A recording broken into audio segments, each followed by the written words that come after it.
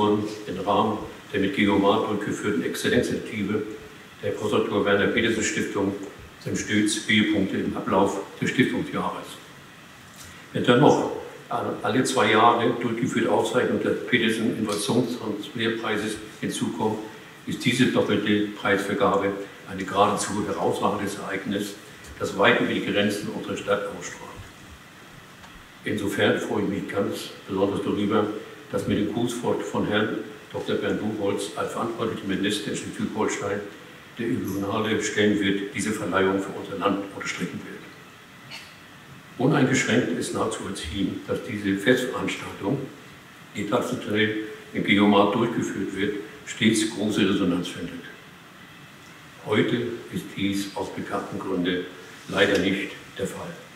Dennoch hat der Stiftungsvorstand gemeinsam mit dem Leitungsgremium von Geomar entschieden, diese Feierlichkeit als Präsenzveranstaltung, wenn auch in ungewöhnlich kleinem Rahmen, durchzuführen. Wir fühlen uns damit allen Beteiligten verpflichtet und wollen damit zugleich die Kontinuität den Blick nach vorne aufrechterhalten. Umso mehr danke ich Ihnen von Herzen für Ihr Verständnis, für Ihr Kommen und insbesondere für die Mitgestaltung dieses Abends. Und ganz, und ganz herzlich danke ich auch dem Duo aus dem Orchesterakademie Gunde Kaiser Geige und Lukas Verhusen Zello sowie Ernst Kaiser die Betreuung, die solche Abende mit ihrer Musik besonders festbringt. Den doppelten Grund für unsere heutiges Beisammensein habe ich bereits angesprochen. Es ist zum einen die Auszeichnung der Preisträger des Innovationstransferpreises 2020. Darüber wird uns Herr Dr. Achim Weibert in seiner Datio und informieren. Schon an dieser Stelle darf ich ihm ein, ein herzliches Dankeschön für die Bereitschaft der Laudatio sagen. Und ich darf wohl wegnehmen, dass wir heute zwei Erstplatzierte auszeichnen werden. Die Bewertung ihrer Einsendung lag so nah beieinander, dass wir uns entschieden haben, zwei erste Preise zu je 20.000 Euro zu verleihen.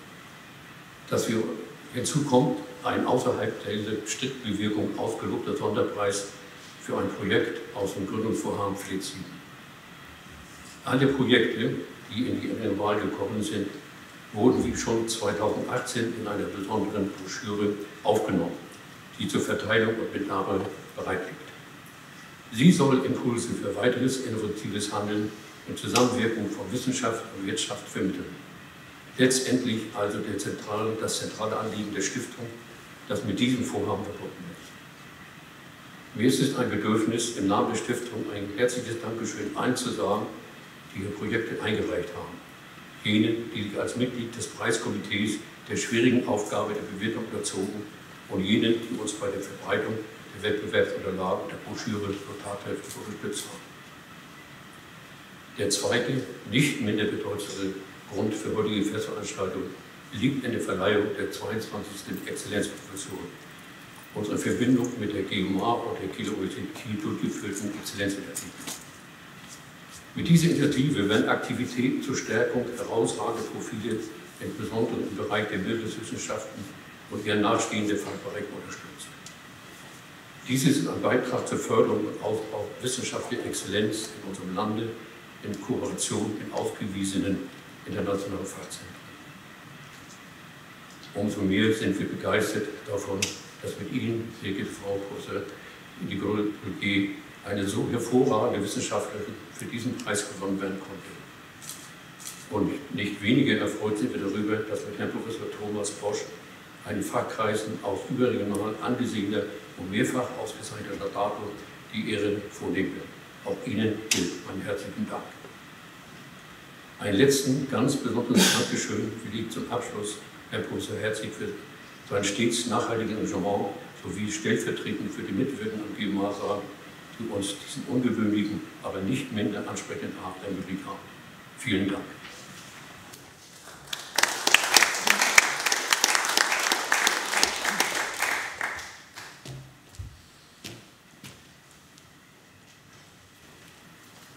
Ja, meine sehr verehrten Damen und Herren, liebe Kolleginnen und Kollegen, lieber Minister Buchholz, Auch ich möchte Sie sehr herzlich zu unserer heutigen Preisverleihung begrüßen und freue mich, dass in reduziertem Rahmen diese Veranstaltung durchgeführt werden kann. Es war ein bisschen schwierig in der Vorbereitung, aber ich denke, so ist es wertschätzend und akzeptabel und äh, wir kommen dazu, uns gegenseitig zu sehen, wenn wir hoch dotierte Preise und renommierte Preise hier verleihen. Ähm, die beiden Preise sind schon angesprochen worden von Herrn Dr. Wichmann. Einerseits der Innovationstransferpreis, der vor zwei Jahren zuletzt äh, verliehen wurde äh, und zum 20-jährigen Bestehen der Stiftung ins Leben gerufen wurde seinerzeit. Heute also die zweite Verleihung. Und dann auf der anderen Seite ja, die 22. Exzellenzprofessur.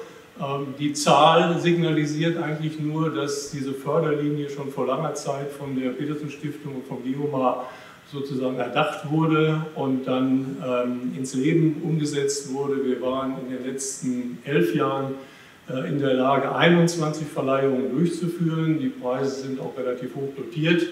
Und äh, es geht im Wesentlichen darum, international renommierte Forscherpersönlichkeiten ans GEOMA zu holen, aus allen Teilen der Welt mittlerweile. Es hat sich ein riesiges Netzwerk hier entspannt. Einer der Preisträger hat sogar eine Professur beim GEOMA angenommen, dann vor einigen Jahren.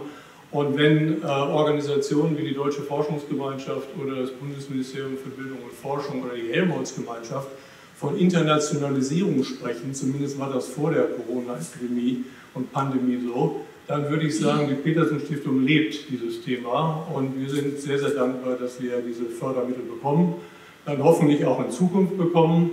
Ich äh, bin noch 15 Tage im Amt des äh, Direktors des GEOMA und werde dann benachfolgert von äh, Katja Mattes, die sich entschuldigen lässt. Eigentlich wäre sie heute bei der Mitgliederversammlung der Helmholtz-Gemeinschaft schon mal in meiner Vertretung. Sie ist aber krank und ist nicht dort, sondern zu Hause und lässt Ihnen herzlichen Grüße ausrichten.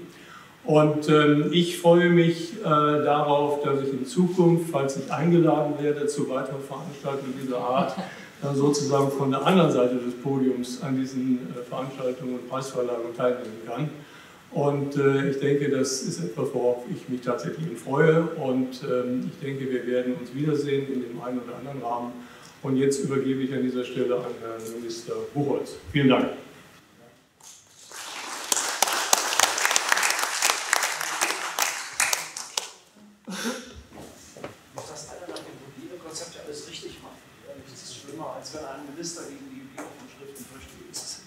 Ja, sehr geehrter Herr Wichmann, Herr äh, Zöllner, lieber Herr Professor Herzig, Frau Professor Dubillier, meine sehr verehrten Damen und Herren, ich überbringe die herzlichen Grüße der Landesregierung zu einer Veranstaltung, die ihresgleichen sucht.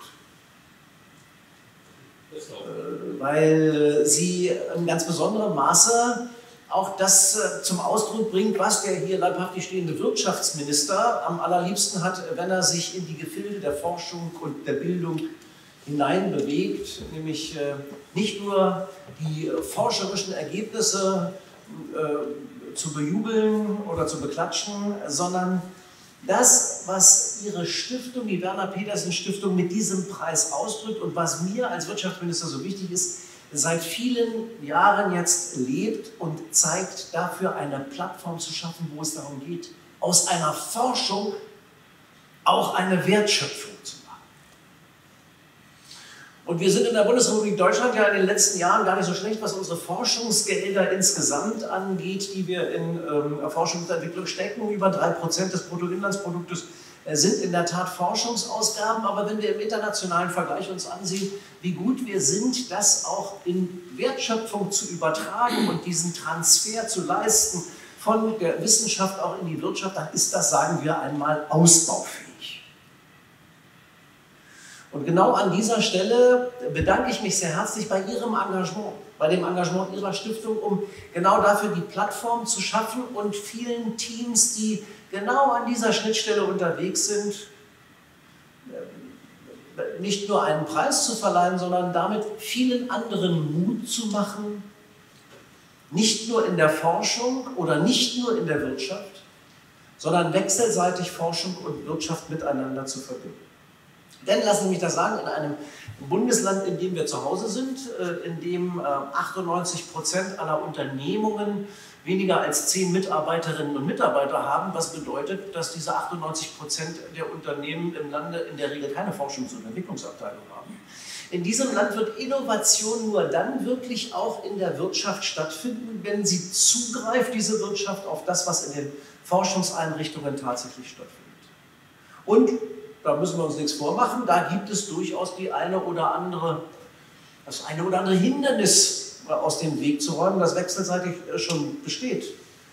Da gibt es die Schwellenangst der Unternehmen, sich in die Nähe der Forschung zu begeben und zu sagen, oh Gott, oh Gott, oh Gott, große Forschungseinrichtungen,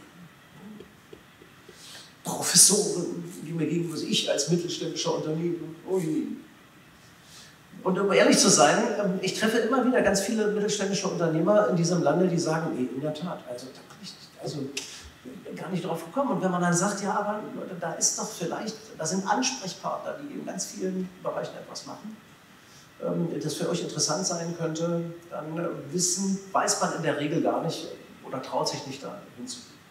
Da braucht es auch ein Zugehen nicht nur der Wirtschaftsseite, sondern auch der Wissenschaftsseite auf diese Unternehmen zu. Und seien wir auch da ehrlich, da gibt es ja durchaus das eine oder andere an Reflexen, wenn es auf der Forschungsseite mal darum geht, auch diese Forschung real zu kapitalisieren und zu sagen, hey, da darf auch richtig Wertschöpfung, da darf Profit draus werden. Oh, so manchem Rektor äh, der Universitäten drängt sich dann auf, jetzt, was ist das jetzt? Und das ist in einer Marktwirtschaft aber äh, nun mal zwingend, dass wir das alles miteinander verbinden. Das ist wichtig. Da sitzt Stefan Dreger, der auch ähm, ihrem, äh, ich glaube, ihrem Preisträgerrat äh, beiwohnt und äh, mit dazu beiträgt, dass die Dinge, die an anderer Stelle entwickelt werden, eben wirklich in die Wirtschaft überführt werden. Und das ist so wichtig.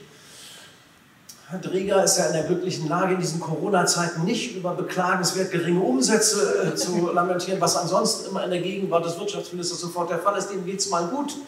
Aber es gibt ja doch einige, die an der Stelle leiden. Und wir werden, gerade wenn wir aus dieser Krise herauskommen, darauf angewiesen sein, dass diese Verbindung zwischen Wirtschaft und Wissenschaft besser funktioniert als in der Vergangenheit. Wenn ich das richtig weiß, dann sitzen hier Vertreter aller neun nominierten Teams im Saal. Darf ich mal fragen, wer so da jetzt nominiert ist hier? Einfach mal aufzeigen. Aha. Sie sind, herzlichen Dank, Sie sind die eigentlichen Gewinner des Abends, schon jetzt. Alle, wie Sie da sind. Unabhängig davon, ob äh, zwei Preise dabei herauskommen, sondern äh, Sie alle haben, und das wird in der Broschüre, die Sie nachher beim Rausgehen, glaube ich, in die Hand bekommen, wenn Sie sie nicht schon gesehen haben, ganz deutlich, Sie haben etwas geleistet, was ein Zeichen dafür ist, wie es gut funktioniert. Und damit machen sie anderen Mut, diesen Transfer tatsächlich auch einzuleiten. Herzlichen Dank dafür und schon jetzt herzlichen Glückwunsch den Preisträgern, die nachher ausgezeichnet werden. Und Ihnen, Frau Professor, alles Gute für diese Exzellenzprofessur, die, äh, glaube ich, auch äh, etwas Besonderes ist. Äh, dass die 22. Exzellenzprofessur hier in diesem Bereich von Ihrer Stiftung vergeben wird. Auch dafür sage ich der Stiftung ein herzliches Dankeschön. Zum Schluss bin ich natürlich aber heute auch gekommen, weil der Hausherr des Geomar seine in Wahrheit wohl letzte öffentliche Veranstaltung hier im Hause macht. Und auch wenn er noch 14 Tage hat, morgen ist er bei mir zu einer persönlichen Verabschiedung noch. Aber dann ist das doch ein Bruch. Denn in Wahrheit ist das Geomar mit ihrem Namen und ihrem Gesicht so verbunden, dass ich nicht weiß, wie ich mir in Zukunft eigentlich das Geomar ohne vorstellen kann. Frau Professor Mattes wird das sicherlich alles gut machen. Aber Sie haben schon etwas geschafft, das glaube ich einmalig, auch in der Wissenschaftsszene in Deutschland ist. Ein solches Institut zu einem der fünf besten in der Welt zu machen. Ein solches Institut mit diesem Know-how tatsächlich immer nach außen zu repräsentieren.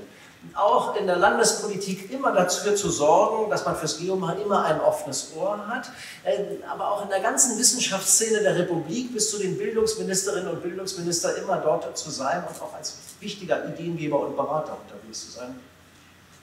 Lieber Herr Professor Herzig, das schafft nicht jeder.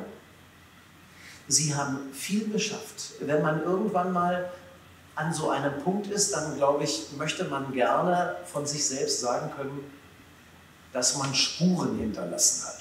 Und das kann man bei Ihnen nur, nur eindrucksvoll sagen. Sie haben mit dem Geomar wirklich Spuren hinterlassen. Dafür Ihnen, auch im Namen der Landesregierung, ein ganz, ganz herzliches Dankeschön.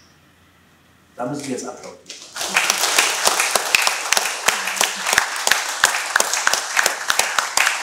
Alles Gute für die Zukunft und ich sage mal, Sie werden sicher weiter eingeladen zu den Veranstaltungen, zu den Veranstaltungen der Landesregierung, jedenfalls auf jeden Fall, denn äh, Professor Herzig ist auch maritimer Koordinator dieses Landes und in dieser Funktion, die er dann auch leider abgeben möchte, weil er sich offensichtlich anderen Freizeitaktivitäten widmen möchte, äh, werden wir uns auch jemanden anderen suchen müssen. Das wird auch schwierig genug. Ich bin jetzt gespannt, auf die Preise, auf die Preisverleihung. Drücke Ihnen allen, die Sie da sitzen, die Daumen, dass Sie es sind freue mich auf einen Abend der besonderen Art und Weise und äh, wünsche Ihnen allen, dass wir alle gemeinsam, relativ schnell, diese Corona-Zeiten überwinden, in denen wir vor leeren Rängen sprechen und es trotzdem gemütlich finden. Herzlichen Dank.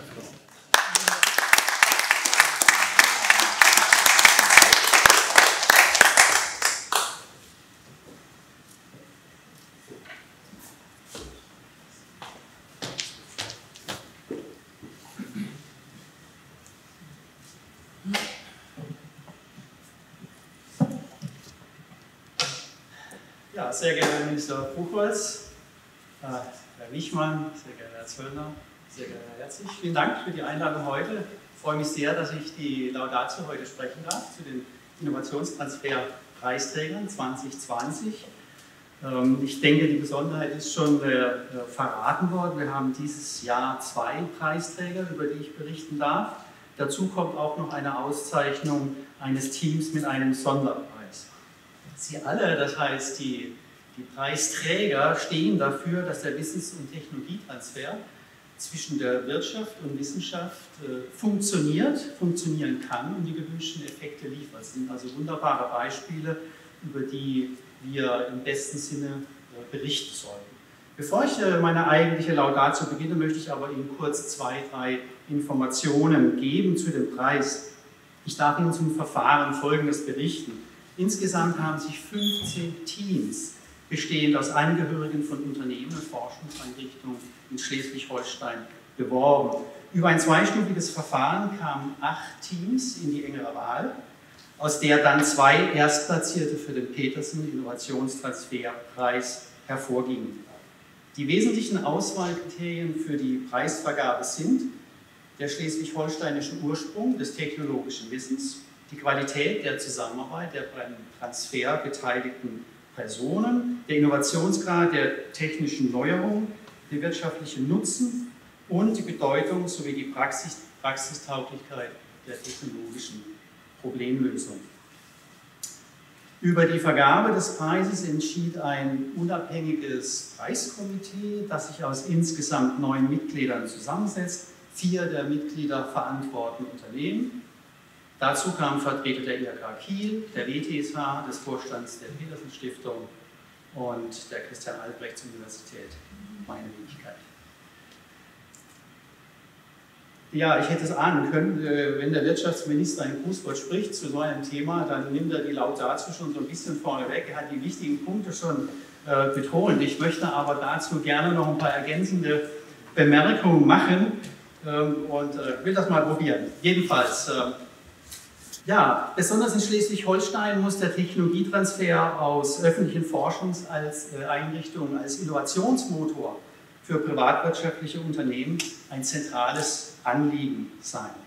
Wir können und dürfen es uns nicht erlauben, dass wir bei dem Thema Technologie und Innovationsentwicklung primär auf private Investitionen setzen. Private FE-Investitionen folgen in der, in der Lehre, äh, in der, nicht in der Lehre, aber in der Regel lukrativen Märkten. Und in Amerika hat man zum Beispiel den Effekt, dass schätzungsweise 75 Prozent des Venture-Kapitals in die Entwicklung von Software geht. Also wer entwickelt dann die anderen Dinge, die wir brauchen in einer Gesellschaft? Schleswig-Holstein ist Teil einer entwickelten Volkswirtschaft und das heißt, Darin gelten für das Wohlergehen neben neuartigen Dienstleistungen insbesondere auch Innovationen in physischer Form, also Neuentwicklung physischer Art als wesentlich. Besonders Innovationen, die ihren Ursprung in der Förderung öffentlicher Forschung haben, tragen zur Lösung gesellschaftlicher Herausforderungen bei, wie etwa Klimawandel, Gesundheitsfürsorge oder die demografische Entwicklung.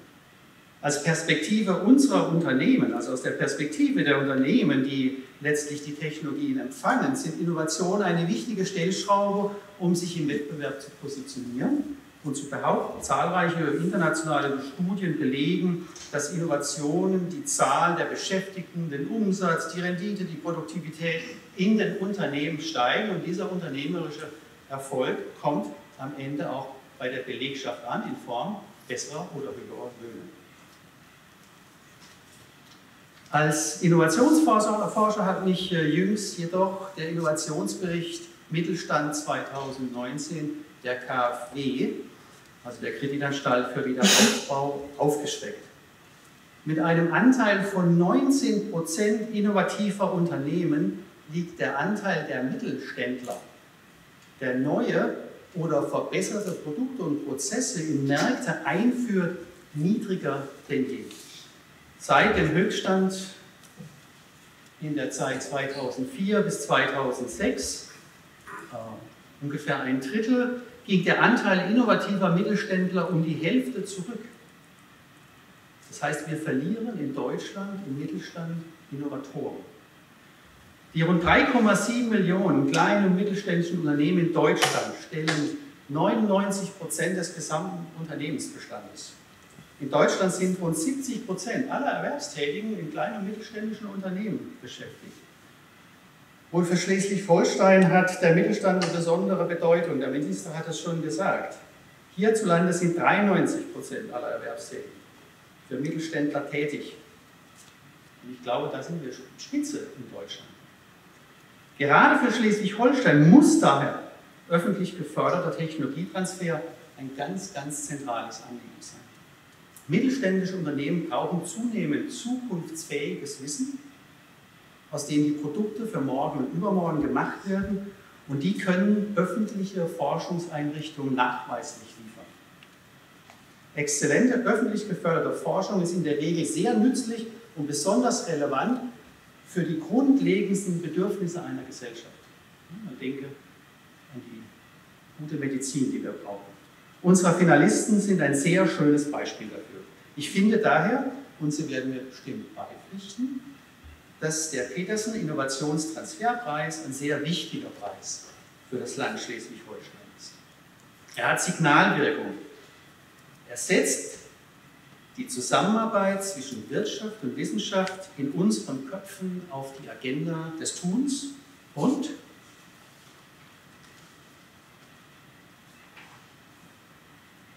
er gibt den besonderen Menschen den unternehmerisch denkenden Wissenschaftlern und den innovationsorientierten Unternehmerinnen und Unternehmern noch mehr Legitimation und auch eine Bühne ihrer besonderen Transferleistung beispielhaft und zu Recht zur Schau zu stellen. Alle Finalisten des Petersen Innovationstransferpreises 2020, die auch in diesem Jahr, es wurde schon gesagt, in einer schönen und aussagenkräftigen Broschüre abgebildet sind, sind gute Beispiele dafür, dass der Transfer von Know-how funktioniert, wenn ein Brückenschlag zwischen den Menschen auf Seiten der Wissenschaft und der Wirtschaft gelingt. Also es kommt sehr auf die Person, auf die Menschen an.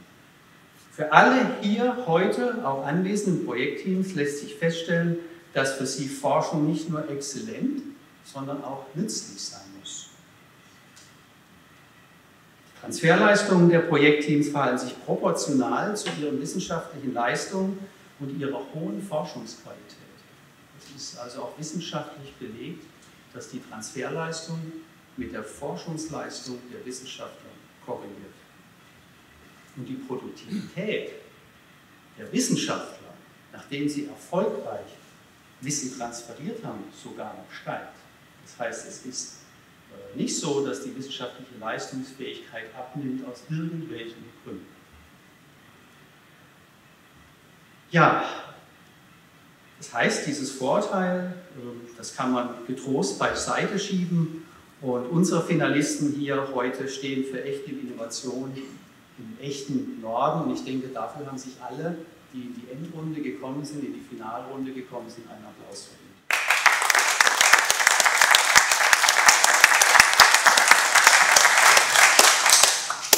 So, jetzt habe ich erfahren, dass es wie bei den Oscarverleihungen ist, dass noch nicht bekannt ist, wer tatsächlich die Preise bekommt. Ich darf das nun äh, berichten. Sehr geehrte Damen und Herren, wir kommen nun zur Benennung der diesjährigen Preisträger. Der erste, erste Preis des Petersen Innovationstransferpreises 2020 geht an das Projekt nicht-invasiver und sensitiver In-vitro-Test zur Früherkennung von Osteoporose. Die uns genannten Ansprechpartner des Projektteams sind die Herren Prof. Dr. Anton Eisenauer, Geomar Kiel und Dr. Stefan Kloth von der Postelabs GmbH Kiel.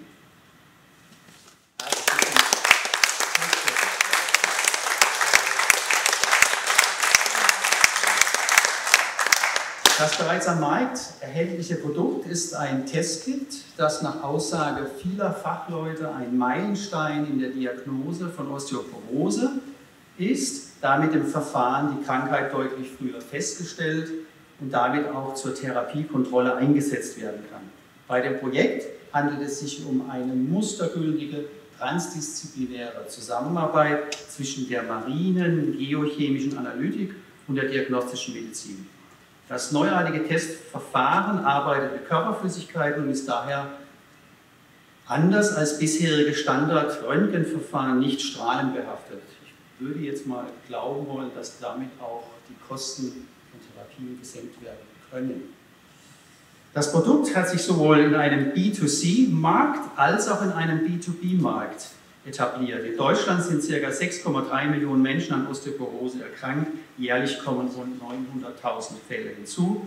Es versteht sich von selbst, dass auch Anstrengungen unternommen wurden, das Verfahren patentrechtlich zu schützen. Es ist also alles angerichtet für die Übergabe des Preises und das zu Recht. Ich gratuliere dem gesamten Team und darf nun die Preisträger oder deren Sprecher nach vorn bitten.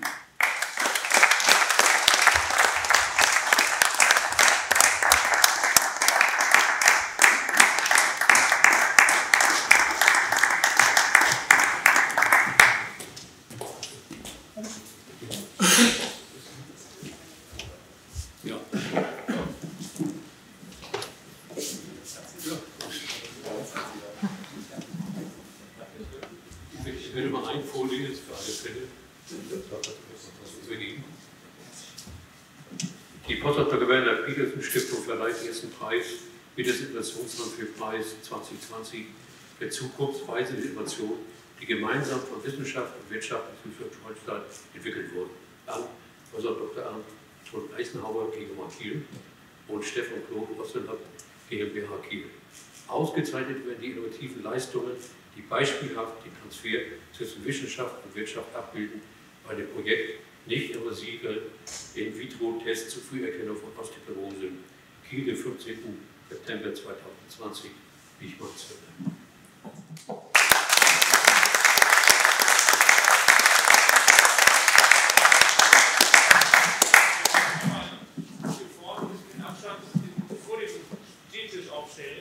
dem Tisch.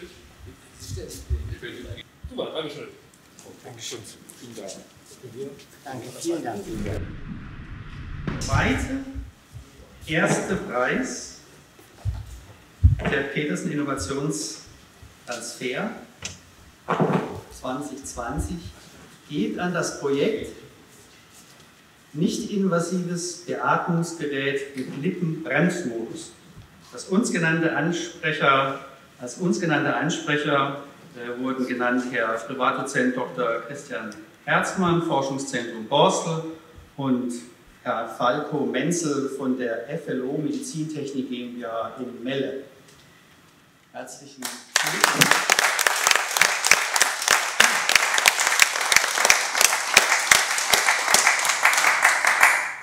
Das innovative und patentrechtlich geschützte Verfahren ist ebenfalls bereits am Markt in Form eines Produktes erhältlich. Ein Beatmungsgerät mit funktionellen Eigenschaften, um Patenten besonders bei der Ausatmung verbrauchter Luft zu unterstützen. Es wird bereits an ca. 40 deutschen Lungenfachkliniken zur Beatmungstherapie eingesetzt und es wurden schon rund 400 Geräte verordnet. Und wenn ich das richtig verstanden habe, gibt es auch schon Kassenzulassung das ist, glaube ich, eine wunderbare Sache, um damit auch ähm, ja, wirklich äh, sichtbar zu werden. Ja, wir gratulieren Ihnen ganz herzlich und bitten Sie auch nach vorne.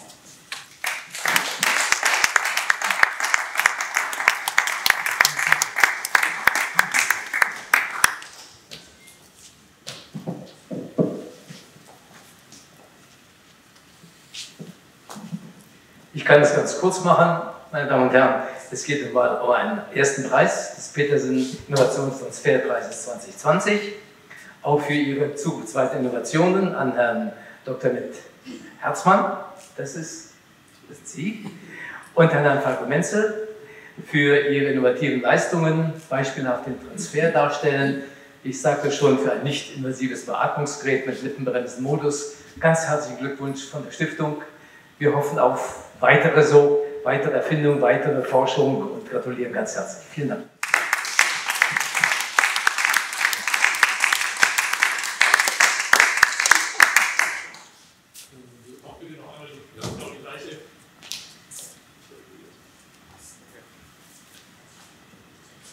Das wurde eingangs der Veranstaltung schon erwähnt. In diesem Jahr vergibt die Werner Petersen Stiftung zu den schon genannten Preisen noch einen Sonderpreis für den Innovationstransfer zwischen Wissenschaft und Wirtschaft. Hierbei handelt es sich um ein Vorhaben, ausgezeichnet im Rahmen des von der Stiftung geförderten FLEET 7 Projektes. Das FLEET 7 ist ein zentraler Coworking Space für Gründer, Startups und Freelancer in Kiel. Der Sonderpreis 2020 geht an das Projekt Status Plus Blutspende der Zukunft. Die uns genannten Ansprechpartner des Projektteams sind die Herren Prof. Dr. André Franke vom Institut für klinische Molekularbiologie der CAU Kiel und Jonas Reinhardt von der Tricode Unternehmergesellschaft, ein Unternehmen für moderne Softwarelösungen im Bereich der Medizin in Kiel. Auch Ihnen ganz herzlichen Glückwunsch.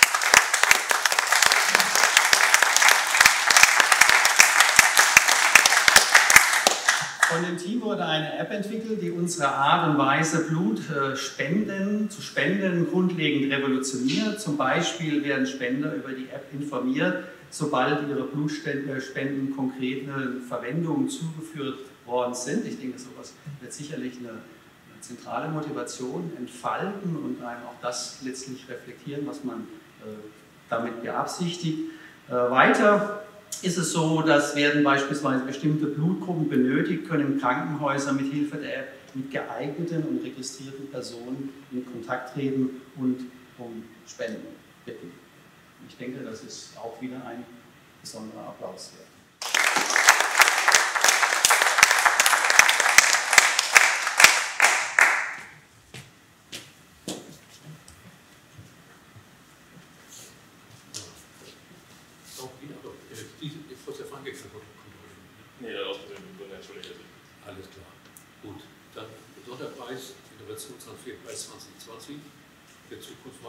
Innovation, die gemeinsam von Wissenschaft und Wirtschaft entwickelt wurden, an Professor Dr. André Franke, die IKBMB der äh, CAU Kiel und äh, Jonas Reinhardt, sind Sie, die OK Kiel, aufgezeichnet werden die Leistung, die beispielhaft den Transfer zwischen Wissenschaft und Wirtschaft bei dem Projekt Status Plus Blutspende der Zukunft außerhalb des Kiel, der 15. 2020.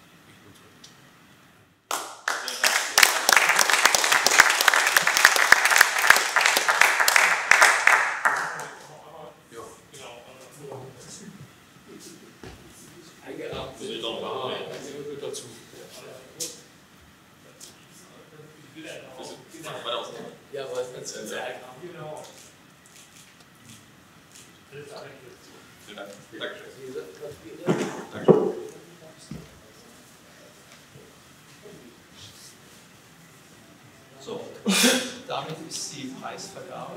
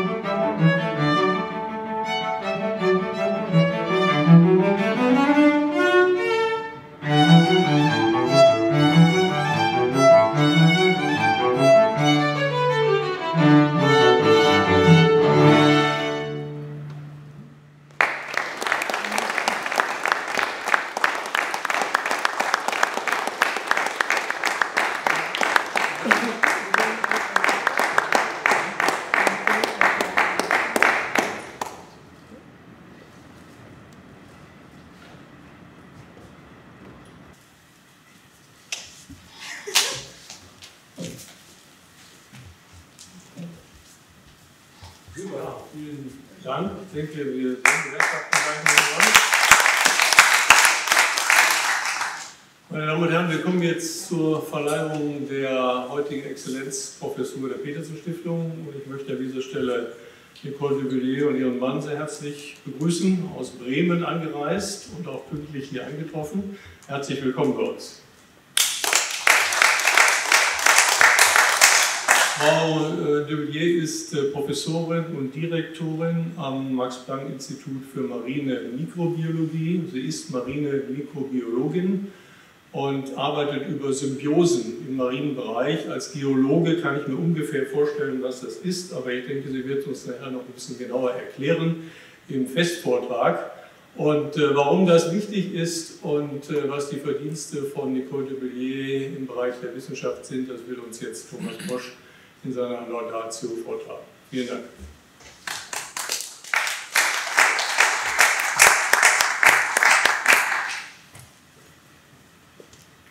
Sehr geehrter Minister, Vorstand der Petersen Stiftung, Herr Wichmann, lieber Herr Herzig, normalerweise hätte ich jetzt gesagt, liebe Kolleginnen und Kollegen, liebe Nicole.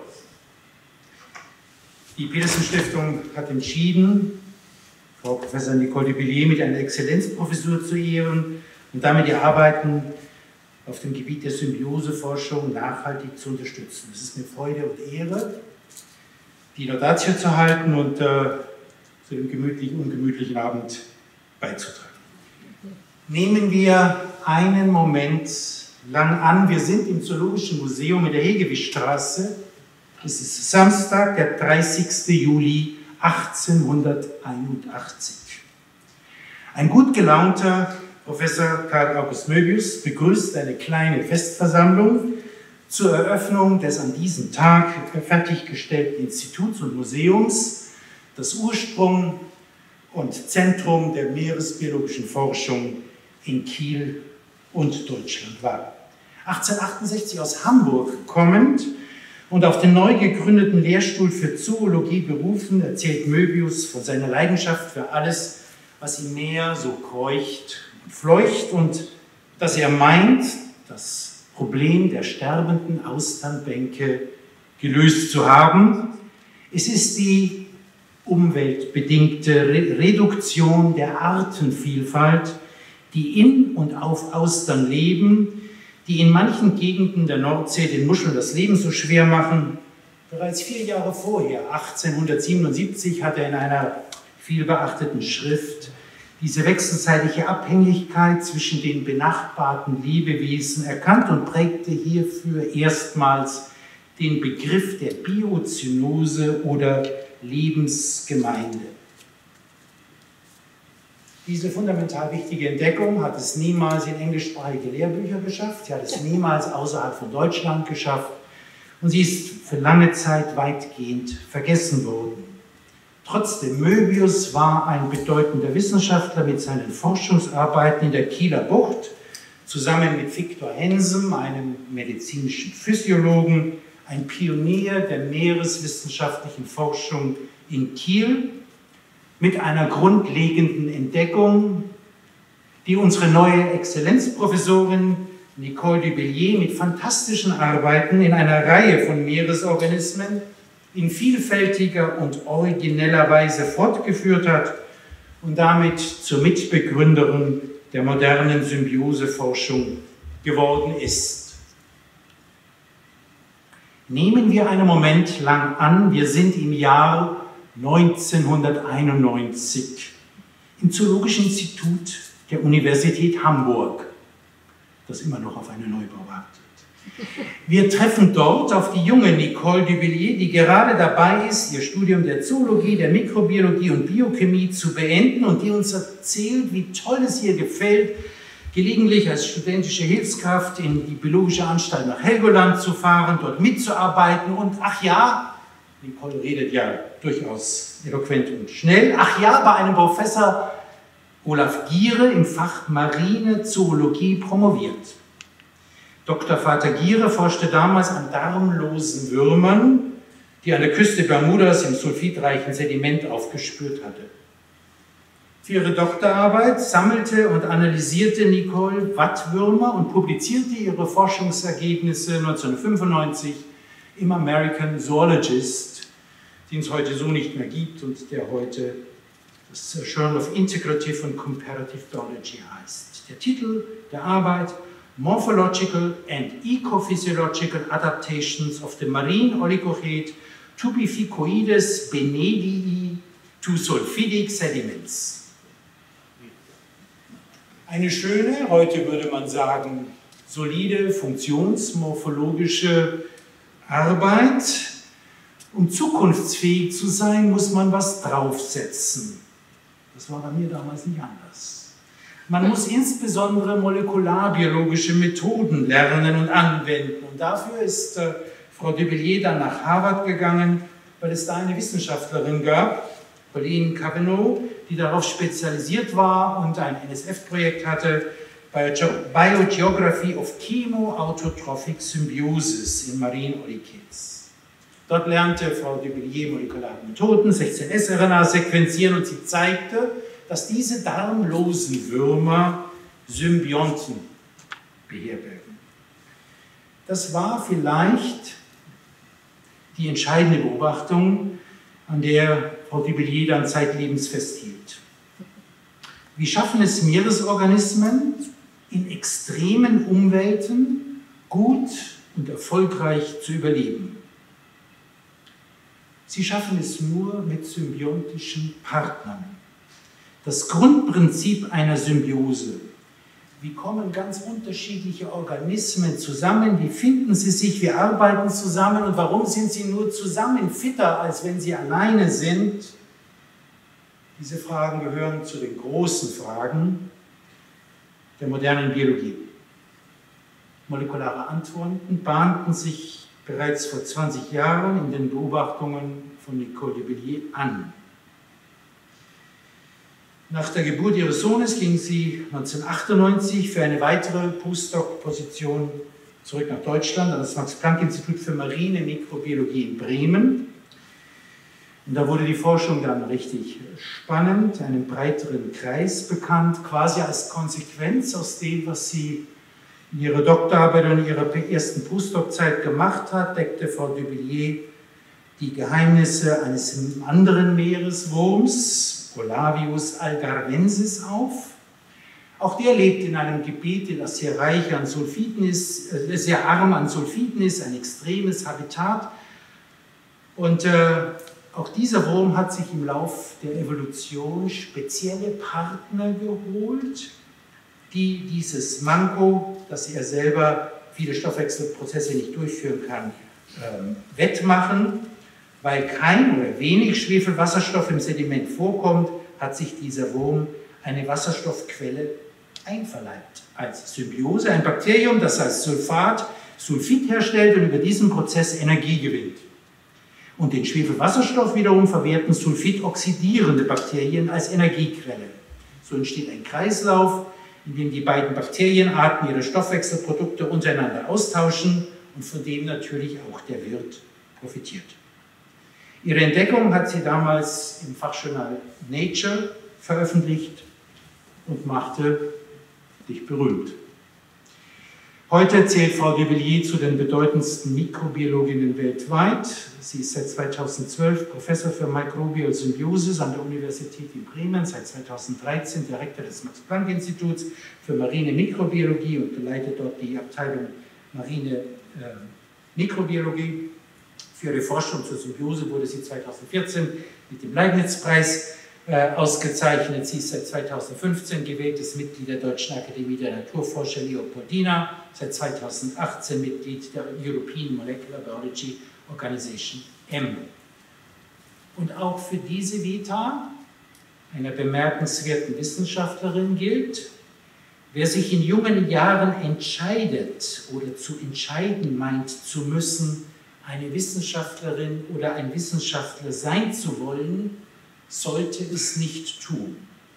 Man ist es einfach oder man ist es nicht. Frau Dubillier ist es einfach. Mit der gleichen Leidenschaft, mit der Frau Professor Dubillier ihre Symbioseforschung treibt, ist sie auch in der Nachwuchsförderung aktiv. 2006 bis 2008 Koordinatorin der International Max Planck School of Marine Microbiology, im Wintersemester 2004, 2005 eine Gastprofessur an der, Univers an der Universität Pierre-Marie Curie in Paris. 2010 gründete sie für vier Jahre ein Marie Curie Initial Training Network Symbiomics, wunderbare Tage auf Mallorca.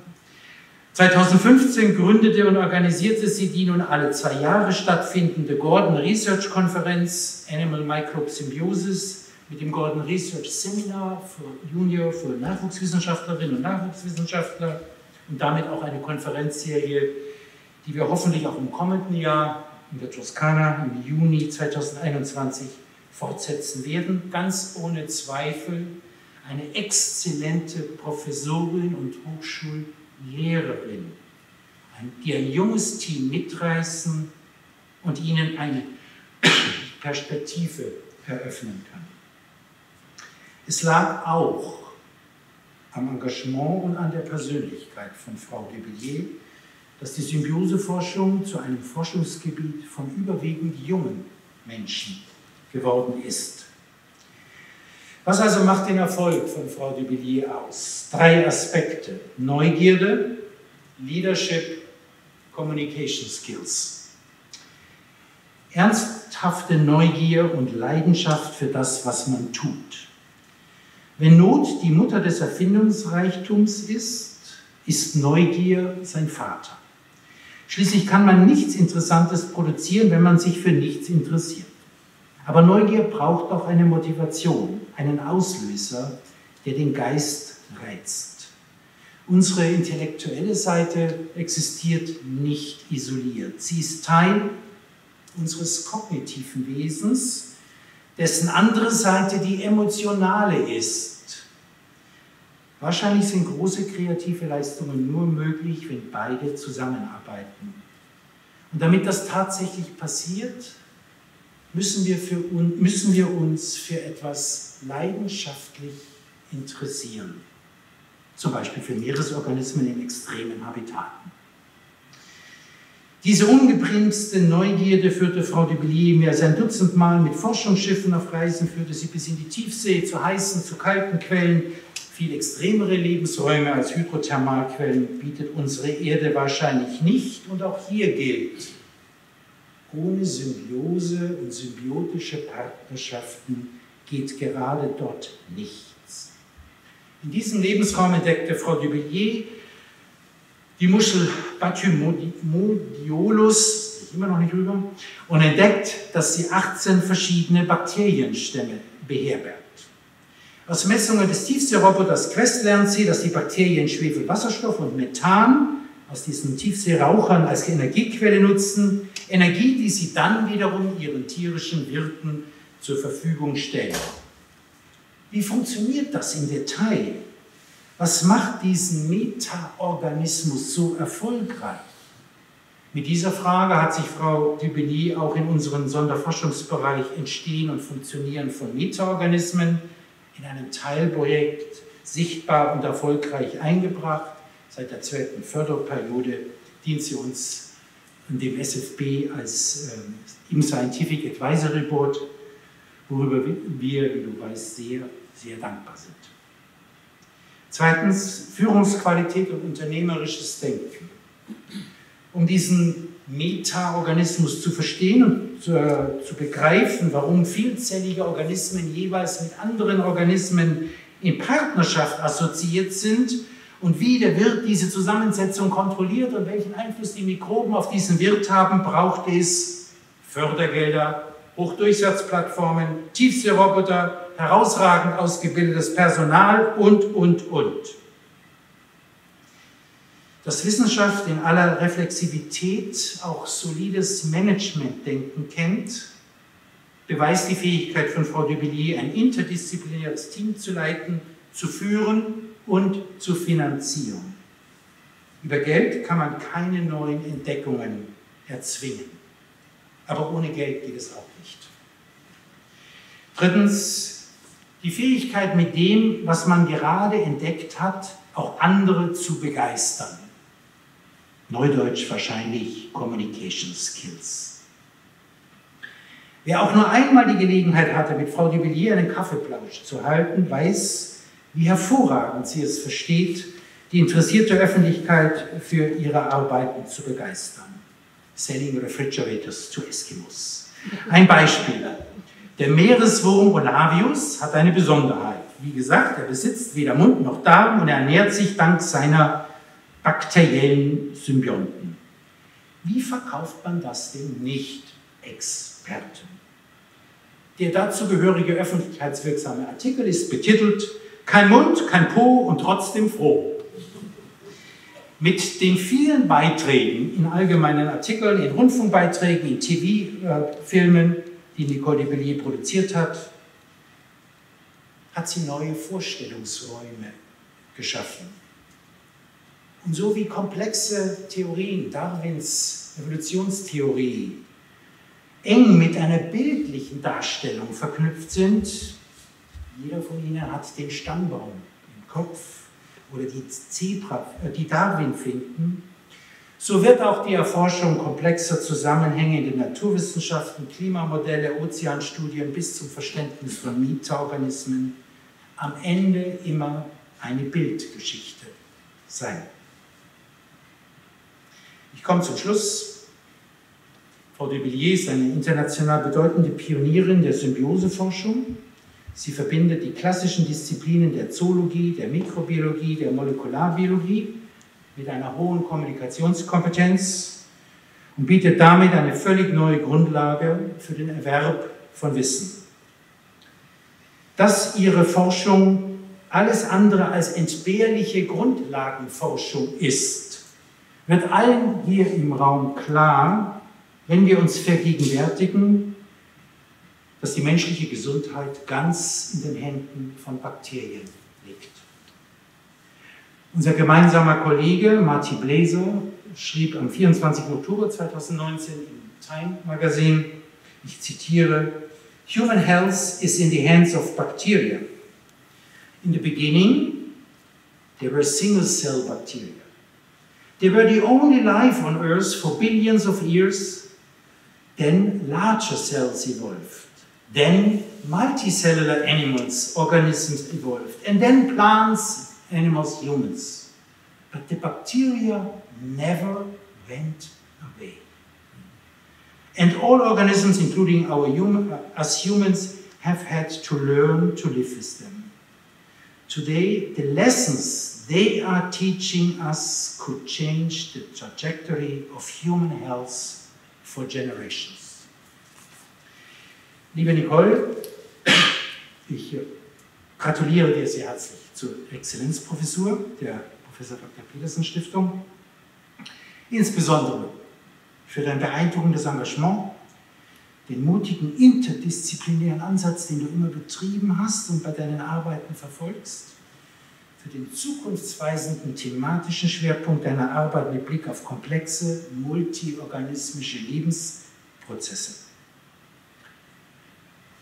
Wie eingangs erwähnt, in Kiel ist schon viel Großes an meeresbiologischer Arbeit geleistet worden. Du wirst diese Tradition während deiner Petersen-Professur in exzellenter Weise mit den Kolleginnen und Kollegen am Geomar weiterführen Du wirst mit Ute Henschel ein großartiges Labor, eine großartige lokale Partnerin an deiner Seite haben.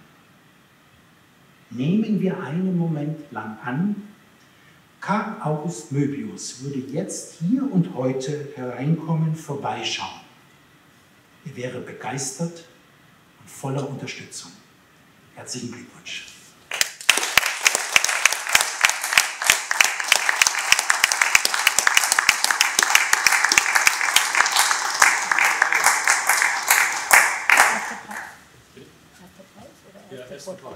Jetzt müssen Sie einen Preis kriegen. Hilft nichts.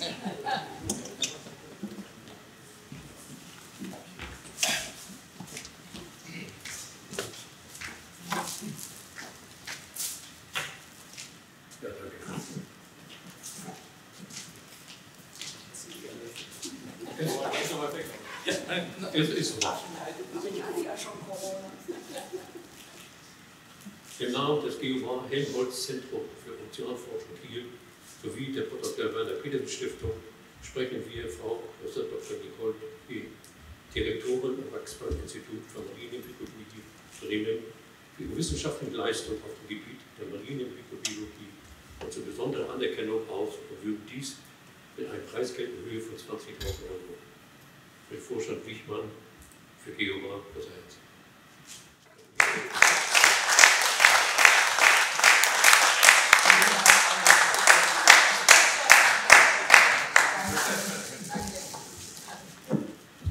Wir stehen hier alle noch zusammen. Alles klar, wunderbar. Achso, doch. Ihr hier? Nee, haben Sie da gefunden? Sie? Haben Sie? Dennis kommt noch.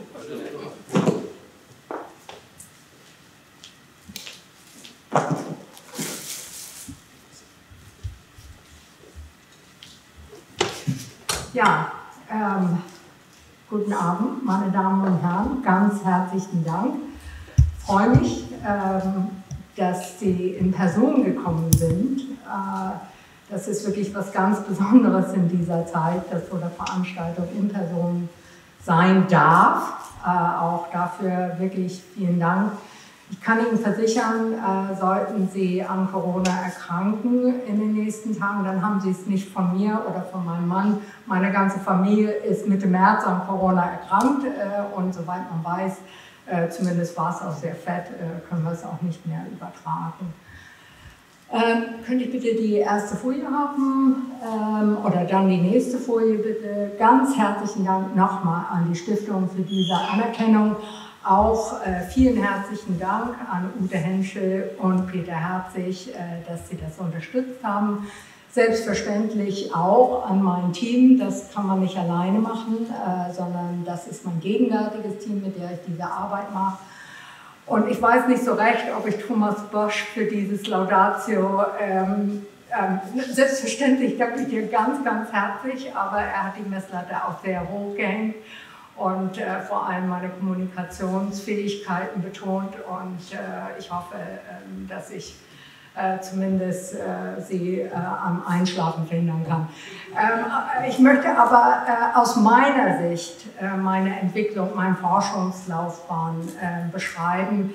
Der war nicht ganz so geradlinig, wie Thomas Bosch das beschrieben hat. Ähm, nächste Folie, ja, die ist schon da. Also mit 18 hatte ich mir überlegt, wie viele junge Menschen, dass doch Meeresbiologin zu sein ein Traumberuf wäre. Und äh, die äh, Vorstellung, die ich hatte, wie dieser Beruf aussehen würde, wäre, dass ich dann vormittags tauchen gehen würde, natürlich nur im Wasser, was so warm genug für meinen Geschmack ist. Also es muss mindestens 25 Grad sein. Und dann würde ich entlang von wunderschönen Korallenriffen tauchen gehen und ein paar Proben hier und da nehmen. Und dann würde ich die ins Labor bringen und vielleicht ein bisschen untersuchen und dann hätte ich auch Feierabend. Ähm, dass Probennamen ganz anders aussehen können, das sehen Sie hier. Äh, so äh, war meine Realität für meine Diplomarbeit.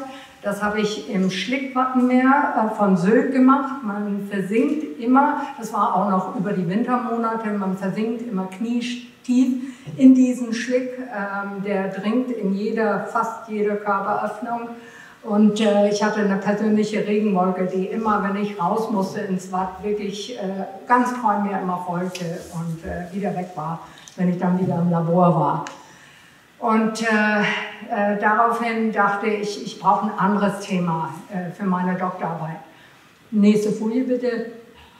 Und äh, wie Thomas Bosch schon beschrieb, äh, äh, Olaf Giere, damals Professor an der Universität Hamburg, jetzt emeritiert, schlug mir vor, ich könne an darmlose Meereswürmer arbeiten. Und wir reden über Würmer, die sind so klein, die können Sie mit dem bloßen Auge kaum sehen.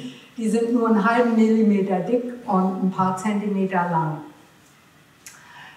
Und abermals äh, war meine Vorstellung von äh, dem, was das heißt, Meeresbiologin zu sein und der Wirklichkeit, ähm, stimmten nicht ganz so überein. Ich hätte mir wahrhaftig nicht vorstellen können, dass ich mein Forscherleben Würmern widmen würde. Also ich war voll auf Wale und Delfine oder Korallenriffe äh, gebucht. Und dann beschrieb mir aber Olaf Giere, wo diese Würmer vorkommen. Und nächste Folie bitte, äh, da habe ich gedacht, oh, das ist ja ganz nett. Die haben ja ihr Hauptverbreitungsgebiet in den Tropen und zwar in Korallenriffengebieten. Also was Sie hier sehen, sind äh, Orte, wo wir die wirklich sammeln. Äh, äh, sei es im Great Barrier Reef in Australien oder in Belize.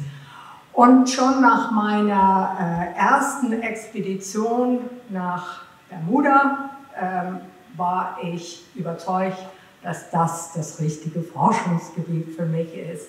Und entdeckte tatsächlich meine Leidenschaft für diese Würmer. Und die sind wirklich was ganz Besonderes, denn die haben keinen Mund, die haben keinen Darm, die haben auch keinen Po. Ähm, sie haben komplett ihr Verdauungssystem reduziert, weil sie so gut ernährt werden von den symbiontischen Bakterien, die in sie leben. Ähm, aber bevor ich beschreibe, wie äh, die Symbionten sie ernähren, möchte ich einmal kurz nochmal den Begriff der Symbiose erklären. Das ist die nächste Folie. Ähm, und zwar ähm, äh, wird, ist es beschrieben worden von einem Botaniker, der äh, an, an Algen arbeitet, an Moose. Und es ist äh, definiert als das innige und fortwährende, intimate Zusammenleben von Organismen. Und entscheidend, und das ist die Frage, die ich immer wieder in meiner Vorlesung frage, ist, ob man dann eine Ehe als eine Symbiose bezeichnen könnte. Aber die ist das Zusammenleben von der gleichen Art in der Regel. Und hier geht es immer um das Zusammenleben von verschiedenen Arten. Das ist die Definition per se von Symbiose. Nächste Folie bitte. Wir haben äh, einfach dadurch, äh, dass die äh, Forschung in der Biologie so lange kein Problem hatte, auf Land zu forschen, wir verstehen sehr viel über Symbiosen ähm, in äh, Tiere und Pflanzen, die an Land sind. Aber wie Sie alle wissen, das Meer bedeckt 70 Prozent der Erdoberfläche. Und da wissen wir erstaunlich wenig über die Symbiosen. Äh, nächste Folie bitte.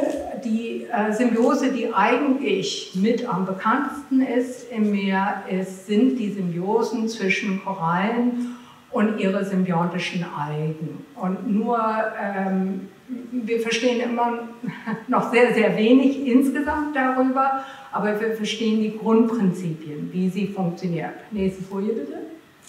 Ähm, die funktioniert oder wird betrieben von Lichtenergie. Es ist die Sonne, die das betreibt. Und die Koralle selber kann mit Lichtenergie nichts anfangen. Sie kann ja keine Photosynthese machen, das können Tiere nicht.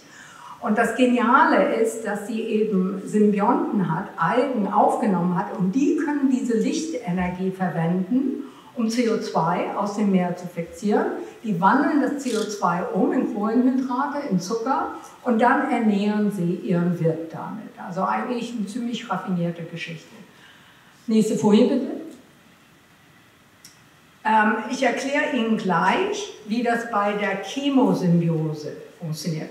Ganz ähnlich wie bei der Photosymbiose, aber ein Tick anders, nämlich mit dunkler Energie, lichtunabhängig.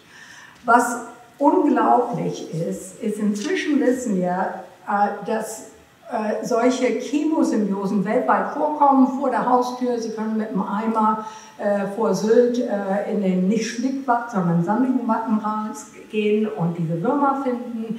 Die sind also buchstäblich überall. Aber der Weg der Entdeckung dieser Symbiosen, der ging über die Tiefsee in 3000 Meter Tiefe. Dort musste man mit einem bemannten Tauchboot, mit Haufen vom Woods Hole Oceanographic Institute, tauchen gehen vor den Galapagos-Inseln.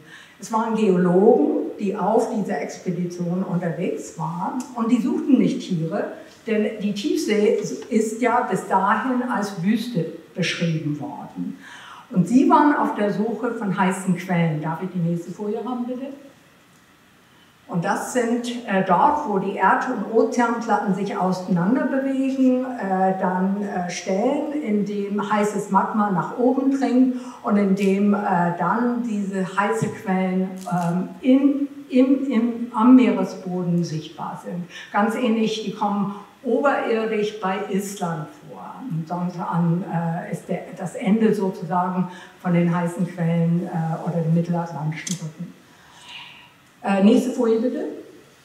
Aber ansonsten, wie gesagt, gleich die tiefsehende Wüste. Und das hier sind ganz, ganz aufregende Bilder von der Tiefsee, wenn Sie sonst äh, da runtergehen, weil Sie immerhin überhaupt irgendwas sehen außer Schleck und hier mal einen Schlangenstern oder eine Seeburg. Und ansonsten sehen Sie eigentlich gar nichts. Und der Grund dafür, nächste Folie, ist, dass eigentlich fast 95 Prozent von der Tiefsee angewiesen ist auf Nahrung von oben, nämlich von der Photosynthese, von der Lichtenergie, von der Sonne.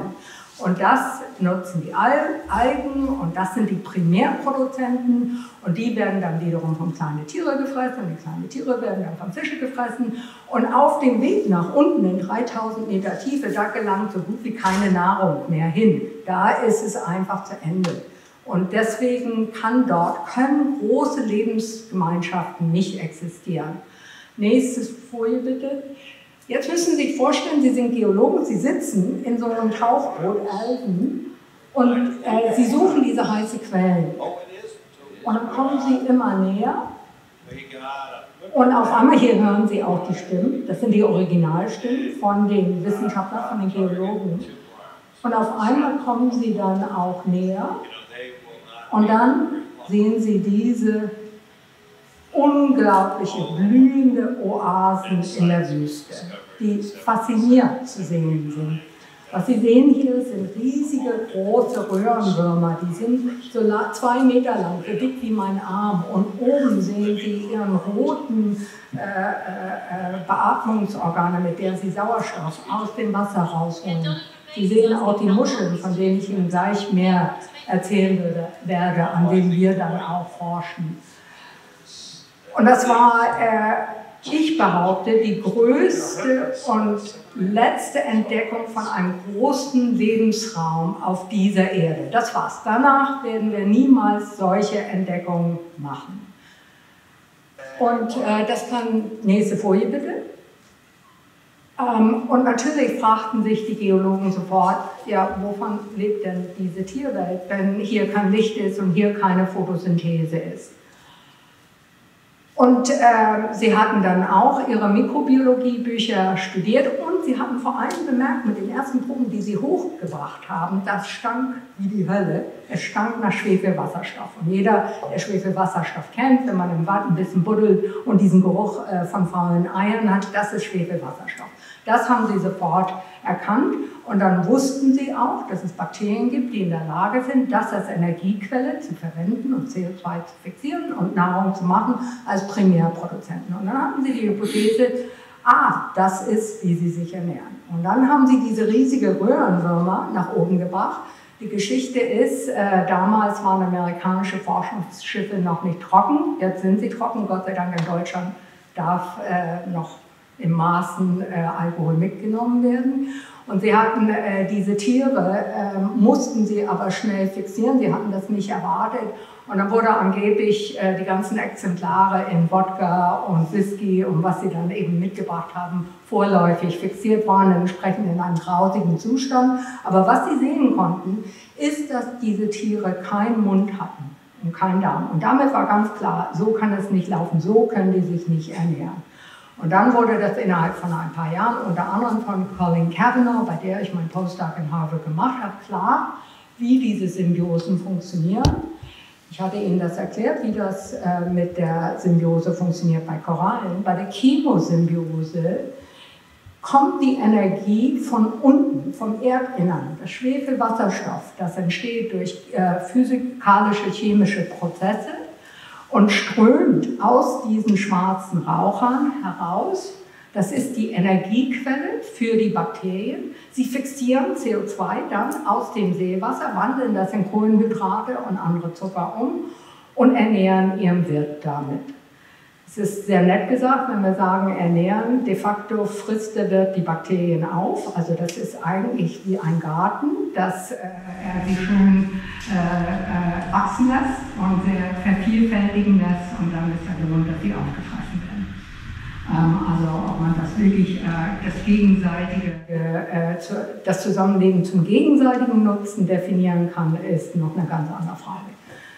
Äh, die nächste Folie bitte. Ähm, inzwischen wissen wir, äh, dass diese Lebensräume eine ungeheure Vielfalt haben und dass die mindestens so hoch ist wie die von Regenwäldern oder Korallenriffen. Äh, und das Faszinierende ist, dass diese, die, die Gesamtheit, der, der, die Grundlage für diese Lebensräume sind Symbiosen, ist das Zusammenleben von Tieren mit Bakterien. Jetzt habe ich Ihnen als nächstes äh, einen Film über die, eine der Arten, an der wir hauptsächlich in meinem Labor arbeiten, die Bathymodeolus-Muschel, die Tiefsee, Bati, Tiefseemuschel, äh, die äh, äh, symbiontische Bakterien beherbergt. Ähm, und äh, hier sehen Sie einen Film, das habe ich dann zusammen mit äh, den Fördergeldern, die ich von meinem Leibniz-Preis bekommen habe, dann äh, drehen können. Hier sehen Sie äh, Bremen, Max-Planck-Institut und äh, wir sind äh, dann, haben wir eine Expedition mit der Meteor gemacht am Mittel, Mittelatlantischen Rücken. Das äh, ist, ist, die Platte, sind die Ozeanplatten im Atlantik, die sich auseinander bewegen und wo es ganz viele heiße Quellen gibt. Dort waren wir bei 13 bis 15 Grad Nord, ähm, also ca. 1500 Kilometer nördlich vom Äquator mit dem Forschungsschiff Meteor. Und äh, leider habe ich keine Expedition, äh, wo ich Fahrtleiterin war, mit dem Kieler ROF. Äh, deswegen sehen Sie das ROF, also das ähm, äh, ferngesteuerte Tauchroboter von Bremen, Quest, mit dem wir wenn, äh, die Proben nehmen. Diese äh, Tauchroboter oder ROFs, Remotely Operated Vehicles, können ferngesteuert an Bord von Piloten in Echtzeit Proben in der Tiefsee äh, nehmen. Der Vorteil über bemannte Tauchboote ist, dass man mit den Piloten zusammen und den ganzen Wissenschaftlern im Boot zusammen gemeinsam äh, arbeiten kann und diese Proben dann nehmen kann. Und hier sehen Sie, wie das ist, wenn wir in der Nähe von einer heißen Quelle kommen. Und hier sehen Sie die ungeheure Vielfalt von diesen Muschelbetten. Das ist unglaublich. Die sind zwei bis fünfmal produktiver als irgendwas, was Sie am Muschelbetten vor Sylt oder irgendwo sonst sehen. Und der Grund dafür sind diese Symbiosen, die Sie mit Bakterien haben. Die versorgen Sie so fantastisch mit Nahrung. Sonst müssen Ihre armen Flachwassersymbionten äh, filtrieren, um ja die Nahrung aus der Wassersäule zu holen. Das kostet Energie. Was Sie hier sehen, äh, sind diese berühmten schwarzen Raucher, wo unter anderem das Schwefelwasserstoff dann herausströmt. Äh, wir haben Temperaturen bis zu 400 Grad zum Teil bei unseren Reisen gemessen. Ich glaube, die höchste war 413 Grad, das war ein Rekord. Die Tiere können natürlich nicht direkt an diesen schwarzen Rauchern leben, sondern sie suchen sich sehr sorgfältig die Lebensräume aus, wo das nicht zu heiß wird. Was Sie hier sehen, ist die Tiefseegarnele äh, Remicaris. Die hat komplett die Augen verloren, sie kann nicht mehr äh, äh, sehen, aber was sie hat, ist ein neues, drittes Organ entwickelt, mit der sie Temperatur spüren kann und damit sorgfältig äh, den ganz heißen Temperaturen vermeiden kann. Was Sie hier sehen, sind die Bathymodeolus-Muscheln. Die sehen eigentlich ganz ähnlich aus wie ihre Flachwasserverwandten.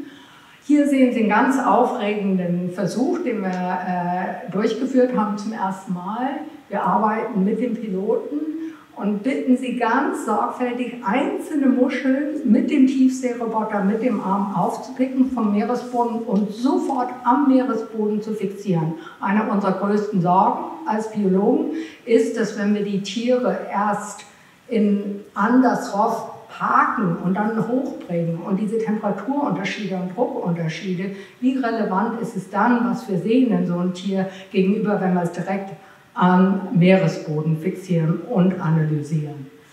Äh, hier sehen Sie Versuche, wo wir äh, die Muscheln transplantiert haben, wegbewegt haben von den Energiequellen, um zu sehen dann auch, was passiert. Hier ist ein Aufzug. Wir haben viele Geräte, mit denen wir arbeiten. Die passen nicht alle auf dem Rauf.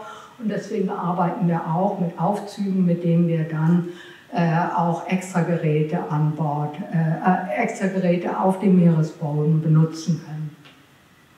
Was Sie jetzt sehen, ist immer das, finde ich, das Spannendste während einer Ausfahrt. Das Ross kommt nach oben und wir jiepern alle äh, nach diesen Proben. Es ist in der Regel 8 Uhr abends, also 8 Uhr morgens beginnt der Tauchgang. Äh, dann ist man den ganzen Tag damit beschäftigt. 8 Uhr abends kommt das Ross hoch. Ähm, und weil das äh, mit Starkstrom betrieben wird, dürfen wir natürlich nicht sofort, und das muss auch gesichert werden und festgelascht werden an Bord. Und wir stehen dann immer äh, Schlange an der Seite und dann wird irgendwann mal äh, es freigegeben und wir stürzen uns dann wie die Gierigen nach vorne, äh, um dann auch unser Proben von den verschiedenen Fächern, äh, die vorne an dem Roff sind, äh, zu holen und sie möglichst schnell auch zu fixieren. Ähm, hier sehen Sie, wie, wie wir so eine Muschel sezieren.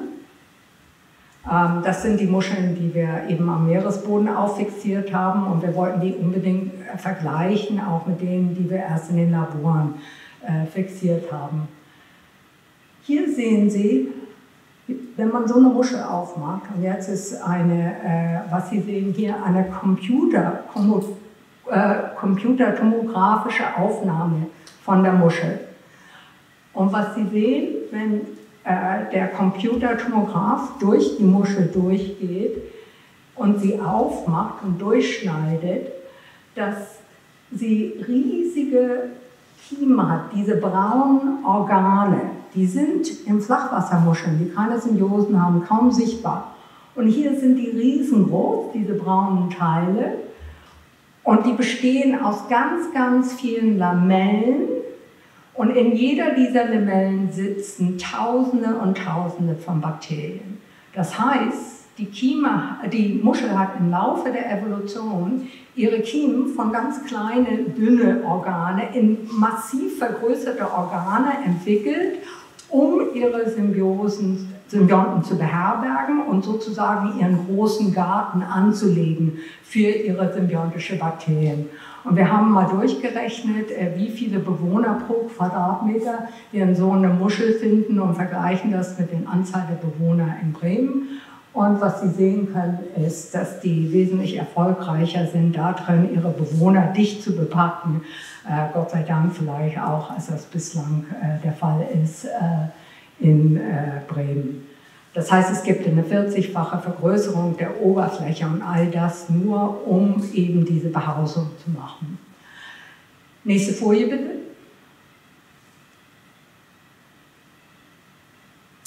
Ja, und was ich gesagt habe, die Ironie ist, dass wir 3000 Meter in die Tiefe gehen mussten mit Forschungsbooten und mit Tauchbooten, um dann zu entdecken, äh, dass die direkt vor unserer Haustür sind. Bitte die nächste äh, Folien.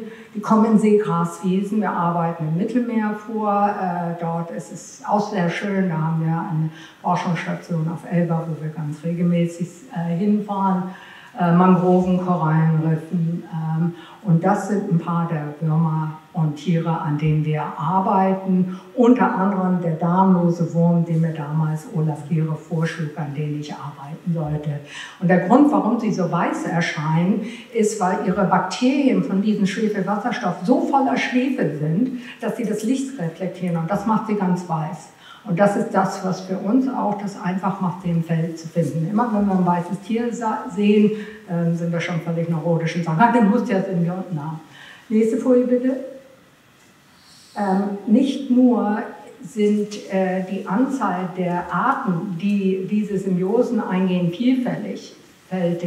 Das heißt, im Laufe der Evolution ist das immer wieder entstanden. Die Lebensräume sind vielfältig. Ich habe über die Tiefsee geredet, ganz spannend sind Walleichen. Ähm, wenn Wale sterben, dann sinken die zum Meeresboden und ihre Knochen sind voller Öl. Und dieses Öl wird abgebaut von äh, Bakterien, die Schwefelwasserstoff produzieren. Und damit wird das ein Lebensraum für diese Symbiosen. Denn ein Schiff, es gibt eine Beschreibung von einem Schiff, was mit äh, ähm, äh, Dosen von Bohnen unterwegs war über den Atlantik. Und das ist dann, äh, hat, ist dann äh, wie nennt man das, ein Unfall, ist zum Boden gegangen und dort äh, fand dann Gärung statt in diesen Dosen und entstand ganz viel Schwefelwasserstoff. Und da hat man auch diese Würmer gefunden. Also überall, wo es da ist, können Sie äh, das finden und besiedeln diese Lebensräume aber eben auch ganz mundane Lebensräume wie Seegraswiesen und hier direkt vor Sylt können wir auch diese Symbiosen finden.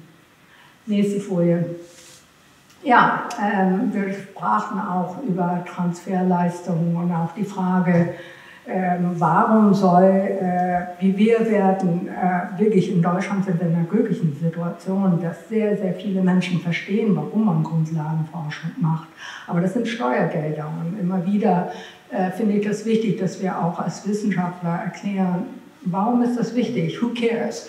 Ähm, und man könnte wirklich fragen, wen kümmert das? Ähm, und wie Thomas Bosch schon erwähnte, äh, wir sind alle wir gehen alle Symbiosen ein. Und ganz spannend ist es in den letzten zehn Jahren äh, bei der Erforschung der menschlichen Symbiosen geworden.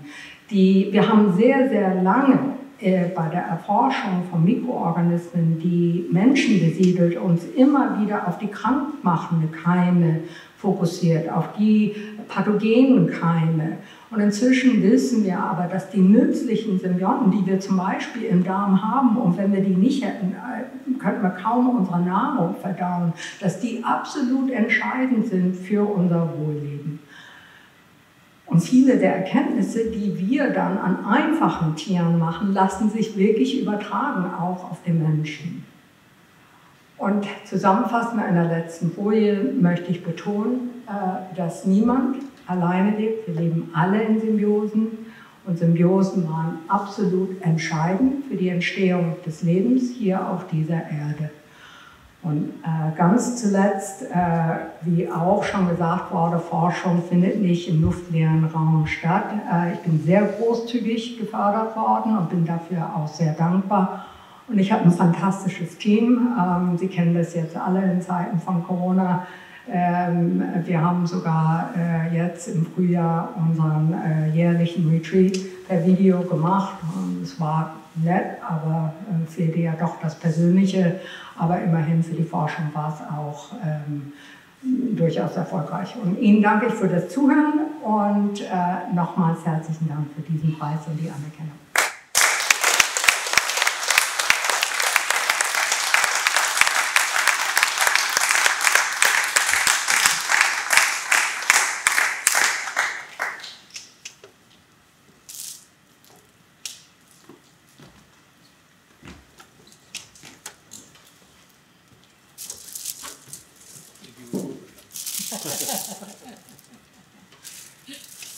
Meine Damen und Herren, Sie erwarten natürlich, dass ein gemütlicher Abend zumindest auch gemütlich ausklingt. Normalerweise würden wir jetzt einladen zu einem kleinen Feierimbiss draußen. Wir können das leider nicht tun, aber wir haben doch noch einen kleinen Höhepunkt für Sie. Ich habe eine Mappe dabei, dazu komme ich gleich. Zunächst einmal darf ich nur feststellen, die Verleihung heute Abend der Preise unterstreicht zweierlei. Zum einen Innovationstransferpreis betont die Notwendigkeit des Brückenschlages zwischen Wissenschaft und Wirtschaft. Die Exzellenzprofessur die Notwendigkeit wissenschaftlicher Exzellenz für Forschung und Lehre. Beides, Herr Minister, hat maßgeblich Bedeutung für den Wissenschafts- und Wirtschaftsstandort Schleswig-Holstein. Herzlichen Dank, dass Sie noch einmal das für die Landesregierung herausgestellt haben. Und wir als Stiftung freuen uns, dass wir ein wichtiges Motto einlösen konnten, das lautet, die Schaffung nachhaltiger Kompetenzen ist die Grundvoraussetzung für zukunftsweisende Lösungen. Lieber Thomas Bosch, das geht auch in die Richtung, von dem du gesprochen hast. Jetzt die drei Aspekte. Zum Innovationstransferpreis. Natürlich großen Respekt für die Einsender. Herzlichen Glückwunsch den Preisträgern. Ihr Vorgehen entspricht dem Trend, wonach der Bundesverband der Start-ups eine Zukunft für erfolgreiches Gründungsgeschehen uneingeschränkt mit technologischen Innovationen verbindet. Innovationen, auch lieber Herr Walter, Sie haben das gesagt, ist unverzichtbar, aber der Transfer von Innovationen ist das Entscheidende. Hier hat Deutschland, Herr Minister, ich darf so sagen, einen gewissen Nachholbedarf. Der Global Competitive Wettbewerb 2019 hat dies festgestellt, dass wir im internationalen Wettbewerbs, äh, in der internationalen Wettbewerbsfähigkeit auf jeden Fall Nachholbedarf haben. Wir haben in unserem Land aber alle Chancen. Wir haben alle Chancen, auch ein Gründungsland zu werden. In Schleswig-Holstein stehen wir mit Gründerstartups im Vergleich zu anderen Bundesländern sehr gut da. Wir als Stiftung wollen tatsächlich zu dieser Plattform beitragen, wo aus Forschung Wettbewerbsverschöpfung wird. Zur Exzellenzprofessur. Wir haben, lieber Professor Herzig, in Deutschland eine große Breite an Forschungsstärke. Aber wir brauchen auch mehr denn je Exzellenz. Exzellenz in der Strategie, Exzellenz in Exzellenzclustern an Forschungsstätten und Hochschulen. Die mit GEOMA begründete Exzellenzinitiative, vor allem in den Meereswissenschaften, trägt dazu bei, wird auch künftig energisch dazu beitragen. Nochmals Dank an GEOMA, auch für die Auswahl. Dank an den Laudator Thomas Bosch und ein ganz herzliches Dankeschön Ihnen, sehr verehrte Frau Professor Dubillier, nicht nur für exzellente Leistungen, die hat Thomas Bosch erwähnt. Ich gratuliere aber auch für einen sehr eindrucksvollen Vortrag ich habe gar nicht gewusst, dass ich mich so für Würmer und Bakterien interessieren muss. Ich werde dies nach Hause nehmen als einen ganz wichtigen Beitrag. Sie haben uns sehr nachvollziehbar, sehr eindrucksvoll und wie ich auch schon früher gelesen habe, sehr gut verständlich dieses neue Welt, dieses wunderbare neue Imperium eigentlich, diese neue Welt, die da unten entstanden ist, vorgeführt. Als drittes komme ich zu Geomar. Geomar meine Damen und Herren, ist die Folie für beide Auszeichnungen. Für den Wissenstransfer und für Exzellenz. GEOMA als international anerkannter Partner, als Forschungszentrum ist ein unübersehbarer Leuchtturm im Land Schleswig-Holstein. Und mit der Professor Dr. Werner Petersen Stiftung verbindet GEOMA eine einmalige Partnerschaft. Und dies wiederum in engstem Zusammenwirken mit ihrem auch heute wiederum impulsgebenden wissenschaftlichen Direktor. Lieber Professor Herzig, Ihre beeindruckenden und international anerkannten Leistungen, unter anderem im Dienst der Wissenschaft und Gesellschaft, sollen heute Abend nur erwähnt werden. Wir möchten Ihnen heute Abend für Ihre über ein Jahrzehnt währende Tätigkeit Dank sagen. Als Impulsgeber, als Vermittler, als Garant für höchste Ansprüche, als stets kooperativer Ansprechpartner, als unser Partner. Für ein, in einem Verhältnis, das eine Stiftung und eine wissenschaftliche Institution in Schleswig-Holstein geradezu beispielhaft verbindet. Wir möchten Ihnen die einzige Auszeichnung überreichen, die unsere Stiftung vergeben hat, nämlich unsere Ehrennadel. Das soll nur ein, klein, ein bescheidener, aber dafür nachdrücklicher Ausdruck der Anerkennung sein und dies verbinden wir mit einem ganz besonderen und ganz herzlichen Dankeschön.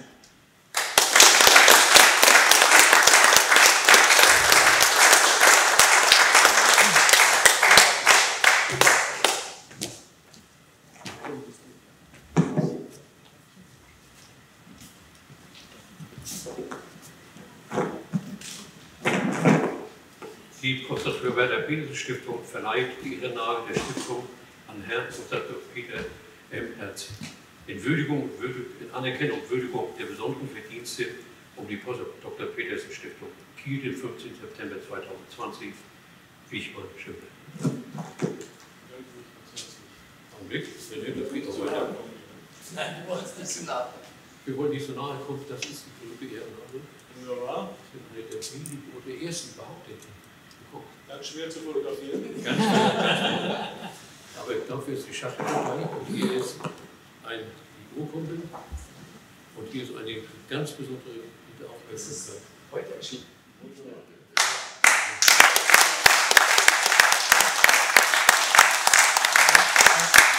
Herzlichen Dank Ihnen beiden. Ich freue mich darüber und ich habe diese Zusammenarbeit auch als sehr fruchtbar empfunden, menschlich stets angenehm.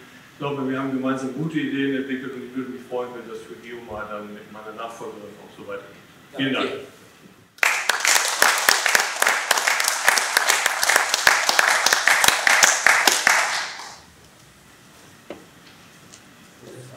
So, das war das Ende der Veranstaltung.